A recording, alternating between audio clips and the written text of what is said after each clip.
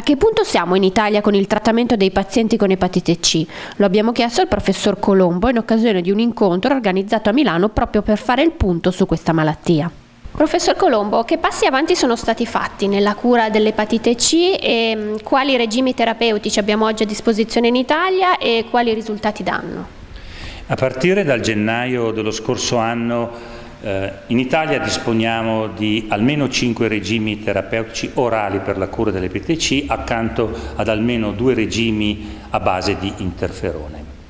Noi siamo arrivati tardi ad avere disponibilità di questi regimi orali rispetto agli Stati Uniti d'America e le grandi nazioni europee, ma per esempio siamo in anticipo rispetto a paesi ben più ricchi di noi come Taiwan, Corea del Sud e Giappone. E questo ritardo, eh, mi si passi il commento, è stato ben investito, perché il professor Pani di AIFA ha potuto negoziare al meglio il prezzo di rimborso di questi regimi e ottenere ad esempio quello che solo noi abbiamo in Italia, di poter curare le malattie più gravi del fegato come la cirrosi da virus C con un regime di 24 settimane allo stesso prezzo di 12 e questo ci avvantaggia rispetto ad altri paesi al punto che noi abbiamo dei tassi di guarigione che sfiorano il 100% dei casi. Abbiamo imparato subito, rapidamente, ad utilizzare in modo ottimale questi regimi, che possono essere anche combinati, voglio dire un farmaco di un'azienda col farmaco di un'altra azienda, e le scelte che noi facciamo tengono conto sostanzialmente del genotipo, del sottotipo infettante, della gravità della malattia e dalla precedente utilizzo di farmaci a base di interferone per la cura della stessa epatite. E di nuovo, nel nostro centro a Milano ad esempio, le nostre scelte sono guidate da ragioni di costo. I regimi meno costosi hanno la priorità di applicazione fatto salvo queste condizioni. Ora i regimi sono divisi in due grosse categorie, i regimi a base di inibitori della polimerasi virale e regimi che si compongono di una mescola di farmaci che attaccano il virus su due o tre fronti. Ora, i farmaci, i regimi che contengono farmaci inibitori della polimerasi sono dimostrati molto maneggevoli e al momento pangenotipici, cioè possono curare infezioni del genotipo 1, 2, 3, 4, 5 e 6.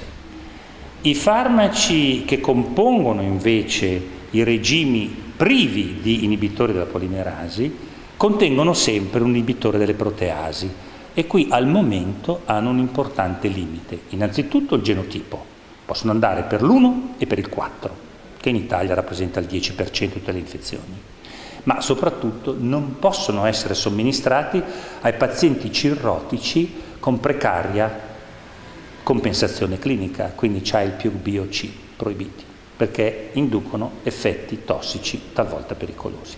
Quindi c'è una certa differenza. Qual è la sua opinione sui criteri di prioritizzazione delle nuove terapie? Beh, abbiamo fatto di necessità virtù. Noi avevamo a disposizione una cifra immensa, un miliardo di euro, abbiamo potuto negoziare l'acquisto, riteniamo tutti grosso modo, di 50.000 regimi terapeutici e abbiamo dovuto scegliere chi trattare per primo.